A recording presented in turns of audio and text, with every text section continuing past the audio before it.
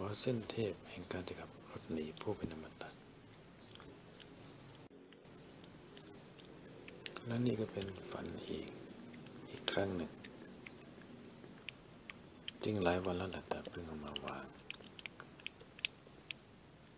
อันนี้เป็นภาพที่อยู่ที่บ้านชั้นเดียว ติดแม่น้ำใหญ่ สายแม่น้ำยาวไกลมาก ตอนนี้พวกเราก็กำลัง อยู่ในบ้าน แล้วผมก็เปิดประตูออกมา ที่ครัวนี่กำลังต้มน้ำเพื่อต้มชากาแฟดื่มในช่วงเช้า